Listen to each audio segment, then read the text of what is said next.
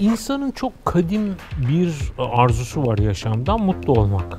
Oyunun içerisinde bu zaten temel vaat olarak var. Oyun biyolojik bir ihtiyaç. O biyolojik bir ihtiyaç olduğu için her toplumda var. Hatta aslında kültürden önce bir şey. Hayvanlar da oynuyor. Kedilerimiz var mesela. Kediler, köpeklerimiz onlar da oyun oynuyor. Aslında ilk oyun bizim bildiğimiz Siirt'te çıktı. Bence tek bir yerden çıkmamıştır. Bir iletişim aracı olduğu için de bence oyun hep var. Dinle de o anlamda çok enteresan bir ilişkisi var. Zarların bir matematiği olduğunu çözemiyorlar. Atıyorlar Tanrı yönetiyor falan filan diye. Seksek oynayarak cehennemden cennete gidebileceğinizi düşünmeniz bir şekilde tanımlayamayacağınız etkileşimler olarak nitelendirilebilir. Yani bu anneler babalar şimdi çocuklarınız değişik kültüre, değişik bilgileri 15 yaşında 600 sayfa kitaptan öğrenmeyecekler. Oyunlar bence bu anlamda tarih filmlerinden, dizilerinden çok daha etkileyici derecede doğru hayatta yaptığın, yapmayı düşündüğün, hiçbir zaman yapamayacağın şeyleri de bir şekilde yaşamanı da sağlıyor. Oyun diyor ki ben seni eğlendireceğim diyor ya. Çok eğleneceğiz diyor. Oyun güzel bir şey. ne olur beni dövme.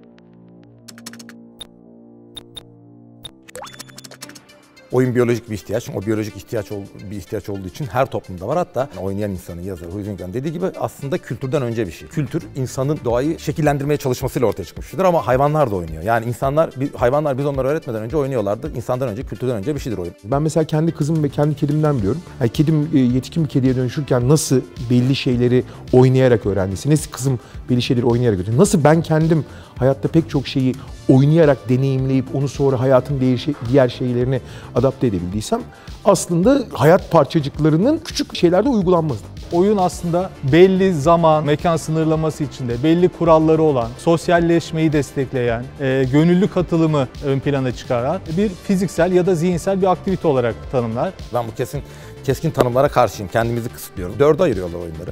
Bir e, Agon dediğimiz strateji oyunları, Alea, zar demek, şans oyunları, Mimikry dediğimiz role playing oyunlar. E, bir de Vertigo dediğimiz, e, Illings dediğimiz baş döndüren oyunlar. Bu, bazı oyunlar bu iki e, dört elementin ikisini de alabilir. Mesela dans hem role playing'tir hem e, efendim senin başınızı döndürür. E, bir başka Fransız'da da, e, Roger Calois'da e, şey kurallı ve kuralsız diye ikiye ayırıyor ama mesela Huizing o anlamda çok net. Oyun kurallı olmak zorunda, eğlenmek için yapılması, yapılması lazım. Para için değil, herhangi bir çıkar için değil. De, gerçekten farklı olması lazım. Bir make believe olması lazım. Yani inandır bir e, dışarıda bir şey olması lazım ve e, serbest özgürleştirmesi lazım insanları.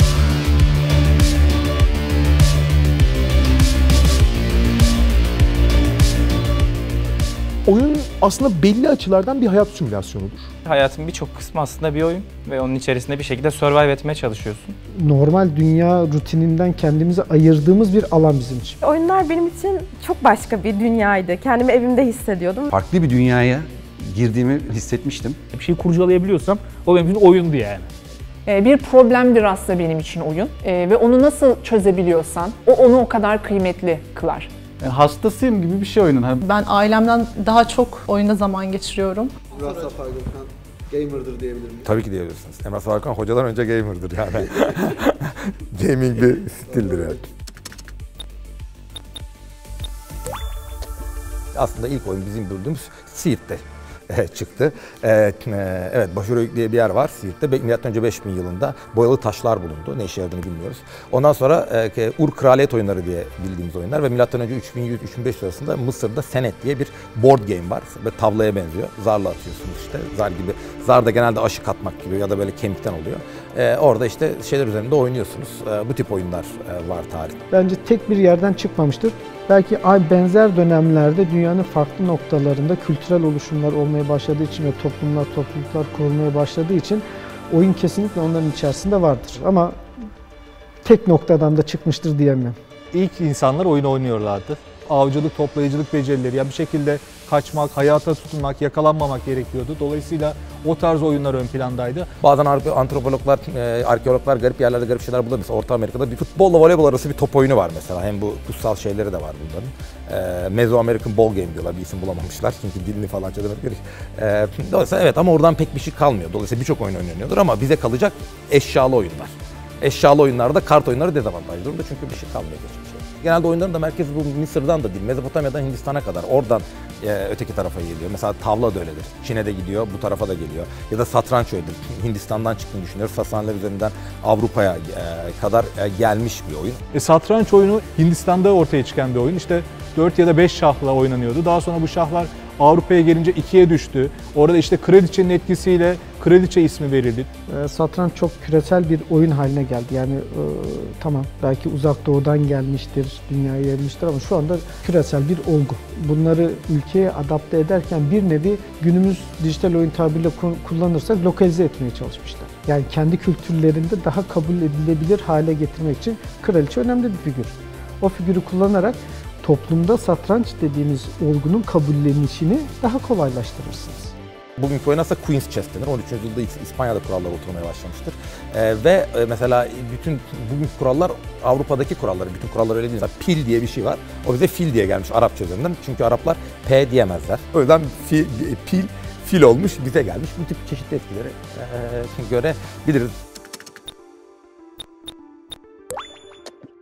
Yani o dini aslında yansımalar, o motifler oyunlarda spesifik olarak görülebiliyor. Seksek oynayarak o ruhu arındırabileceğinizi, e, cehennemden cennete gidebileceğinizi düşünmeniz aslında yine sizin aslında böyle e, bir şekilde tanımlayamayacağınız, yani elde edemediğiniz o doğaüstü güçlerle bir araya gelen etkileşimler olarak nitelendirilebilir. Zarlarla ilgili bir şey. Bu zarların bir matematiği olduğunu çözemiyorlar. 16. yüzyılda çıkıyor.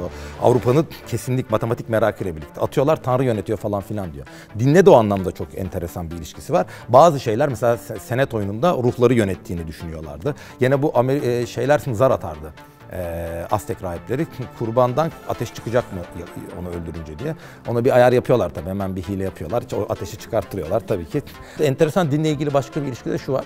2011'de Kore'de, 2016 Amerika'da yapılmış çalışma diyor ki dindarlar daha az oyun oynuyormuş. E, Bilinemezliğe alışık insanlar rekabete daha açık oluyorlar. Zaten muhafazakarlarla ilgili yapılan araştırmalarda risk almaya yatkın olmayan insanların daha muhafazakar olduğunu ve dindar olduğunu görüyoruz. Bunun çerçevesinde 2011-2016 yapılmış iki ayrı makalede e, dindarların daha az oyun oynadığını e, görüyoruz. Oyun ve teknoloji ilişkisi biraz yumurta tavuk gibi. Hani işin başını bulmak zor. Hangisi hangisini etkiliyor. Ee, bunun tek bir doğrusu olduğuna da düşünmüyorum. Bazen gerçekten teknoloji oyun dünyasını yönlendiriyor. Oyun dünyası ama her anlamda şunu söyleyebiliriz. Teknolojinin kabiliyetlerini son noktasına kadar kullanan e, bir alan oldu her zaman için. E, oyun diyebileceğimiz ilk e, oyun yani 1956 idi yanlış hatırlamıyorsam Amerika'da bir e, bilim laboratuvarında bir osiloskopun ekran olarak kullanıldığı bir düzenekte iki analog bilgisayarla e, yapılıyor. İsmi de Tennis for Two. O iki bilgisayarın e, iki farklı işlev üstlendiği ve iki kişinin karşılıklı tenis oynayabildiği. Tabii tenis dediğim bu zaman yani için kimsenin kabul edemeyeceği bir şey. Yani üç tane piksel ile tenis oynadığını varsaydığım bir şey gibi düşünelim bunu. Ee, böyle bir oyun geliştiriyor. Laboratuvarın verimini neredeyse %90 oranında düşürüyor. Çünkü o kadar primitif, ilkel halindeyken bile çok insanların ilgisini çekmiş. İlk oyun olarak aslında literatüre geçen budur. Dijital oyunlar evet ilk 40'lı 50'li yıllarda e, özellikle askeri anlamda başlayan oyunlar olarak söyledik ki aslında ilk bilgisayarların çıkması da bu şekilde olmuştur. İkinci Dünya Savaşı ile birlikte evet bilgisayarların kullanılmaya başladığını gözlemliyoruz. Bu zaman içinde tabii daha da e, gelişti. E, özellikle 60'lı yıllarda ilk etkileşimli bilgisayar oyun dedik, Space War dedik. Daha sonra Space Invaders dedik e, 70'li yıllarda. Space Invaders çok enteresan bir oyundur. Çünkü ilk defa 1978'de çıktığında Atari'nin altın çağı, 1978-82 yıllarında Atari'nin altın çağı. Space Invader ilk defa can kavramını, zaman değil can kavramını getiren şeydir. İlk defa e, ekstra can orada, high score orada, background müzik orada ve hedeflerse geri ateş diyor. Tabii ki o teknolojinin önünde duramıyoruz. O kadar hızlı gelişiyor ki e, he- her geliştirilen teknolojinin içerisine oyunları yerleştirmeye başlıyoruz ve 70'lerle beraber dijital oyun dediğimiz kavram hayatımızın en önemli parçası haline geliyor.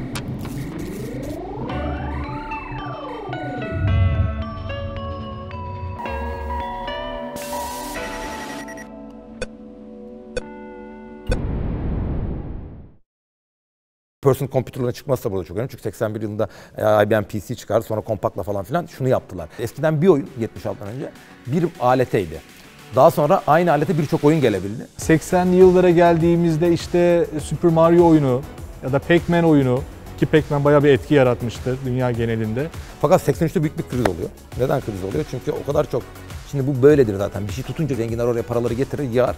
Orada bir kakafoni oluştururlar. Çünkü böyle venture capitalizmin anlamadığı bir şey var. Know-how e, doymuş çözelti gibidir. E, the law of diminishing returns, azalan verimlilik kanunu vardır. Ne demek bu? Abi tutmuş bir şey, niş bir şeye parayı gömersen orada artık böyle 10 lira yerine 100 lira gömdüm 10 kat artmaz. Parayı gömersin gömersin bir süre sonra inovasyon e, parayla arttırılamadığı için birbirine benzeyen bir sürü şey olur. Dolayısıyla çok da oyun olunca onun fiyatları ucuzladı. Güzel oyunlar satamadı falan. 83'te bunlar patladılar. Büyük bir patlama e, gerçekleşti. E, ve işte ondan sonra biz ev konsollerine falan filan yavaş yavaş geçmeye başladık 80'ler. Biraz öyle geçip mesela Nintendo'yu 1985'te NES çıktığında Nintendo Entertainment System diye e, home konsolları bir, bir anda e, patlatan bir şey. Nintendo 5 tane market lideri yapacak bir şey. Oyunlar çok e, meşhuruz. Daha sonra 90'lı yıllarda işte bu e, kişisel bilgisayarların çıkmasıyla e, Microsoft üzerinde oynanan oyunlar ön plana çıkmaya başladı. CD-ROM bulununca 90 ortasından sonra artık daha doğrusu vardı. Bilgisayara geçince CD-ROM ve 3D processing'i becerince işte bu Adventure, Monkey Island'da falan filan o ilk oyunlar geliyor. Sonra bu first, first person shooter'lar ilk Doom'du. E, Doom, e, Doom ama esas Ultima e, ve karakter falan da yaratıyor. Ve şey tabii Half-Life diye çıktı bize Counter Strike. Counter Strike aslında bir add-on gibiydi onlar. Half-Life değil ki.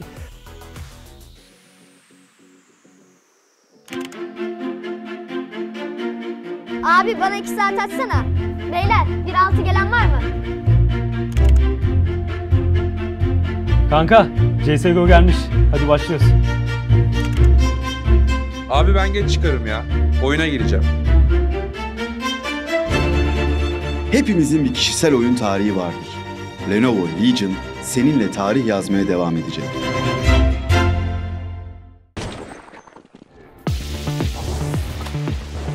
...2000'li yıllarla birlikte oyun grafikleri daha da gelişti. İşte mobil oyunlar ortaya çıktı. Mobil tarafta akıllı telefonların ortaya çıkması oyun endüstrisinde büyük bir aslında devrim yarattı. Tenis sportu gibi basit bir algoritmayla başlayıp şu anda inanılmaz hikaye, tasarım, kodlama süreçlerini bir arada tutan ve inanılmaz bir deneyim, sonsuz dünyalar sunan ve dijital ve yani teknolojinin nimetlerini sonuna kadar kullanan, kullanabilen çok esnek bir üründen bahsediyoruz. Siz teknolojiyi ne yaparsanız yapın, ne kadar arttırılmış gerçeklik yok, akıllı gözlükler ne yaparsanız yapın hepsinin içerisine oyunu koyacağız. Dünyada milyarlarca kişi var oyun oynayan ve bu büyük bir pazar. 200 milyar dolara ulaşan bir pazar. Pazardan pay kapabilmek için çok ciddi e, araştırma geliştirme çalışmaları yapıldı vaktiyle halen yapılıyor. Fakat daha sonra bunlar çok değişik alanlarda, sanayide e, ve diğer yazılım alanlarında da kullanıldı. Çünkü çok güçlüydüler ve e, gerçekten çok uygun fiyata kullanıcıya ulaştırılabiliyorlardı. Bu soruyu birkaç kere daha sordular. Ee, böyle genelde çevirip soruyorlar böyle. Bak ilk oynadığında oyun hatırlıyor musun diye. Abi net hatırlayamıyorum yani. Space Invaders'ı oynadım hatırlıyorum. Şey Super Mario'yu oynadım.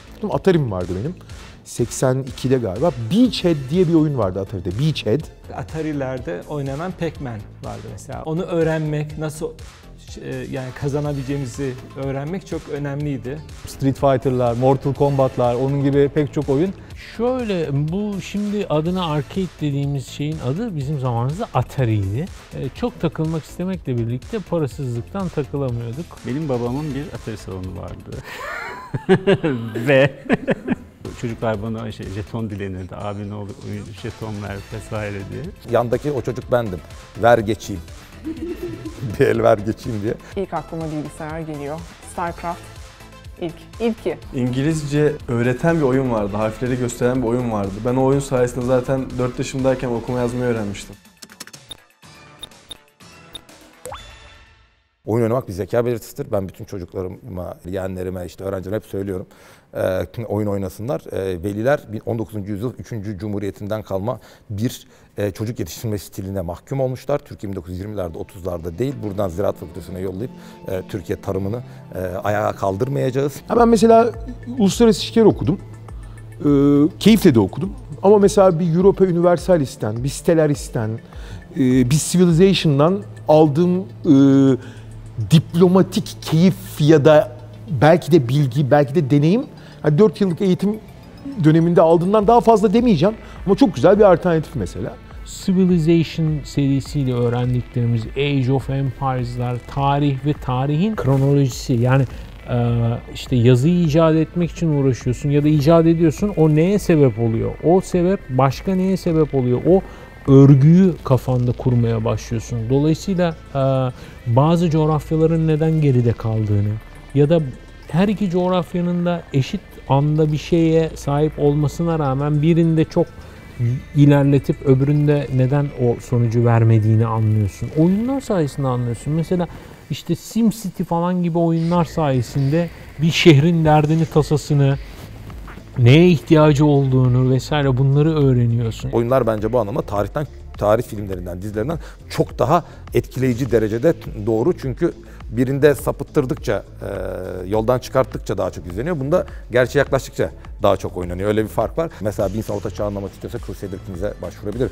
Bir insan e, hakikaten e, ne bileyim bir iş, bir Dünya Savaşı ile ilgili Hearts of Iron'a, Victoria'ya e, başvurabilir. Yani biri bir Civilization oynayan biri, Prison Architect gibi bir şey oynayan biri. inanılmaz bir yönetme kapasitesi lazım. Bir, bir sürü kararı bir arada alıyorsunuz. Bu oyunlar insanı geliştiren oyunlardır. Yani bugün e, bir League of Legends oyuncusunun aynı anda düşünmesi ve hesaplaması gereken işlem sayısı bir basketbolcunun 50 katı falan olsa gerek. Yani hangi şampiyon, ne, hangi yetenekler bekleme süresine girdi, hangileri girmedi, hangi takım arkadaşı yakın, aradaki mesafeyi kapatabilir mi, dash mesafesi. Yani inanılır gibi değil ya. Yani süper bilgisayar olmak lazım.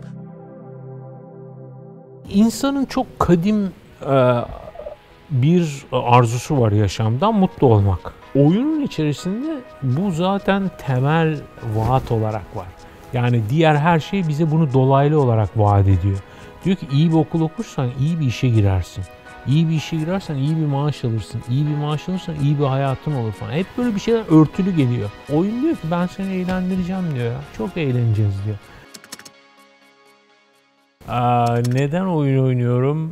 Bence kimin cevap verdiğine çok e, bağlı bir soru bu. Yenmek için. E ne yapayım da yani yenmek için. Niye oynamayayım ki yani? ya oyun oynamadığım an mesela mutsuz olurum ben.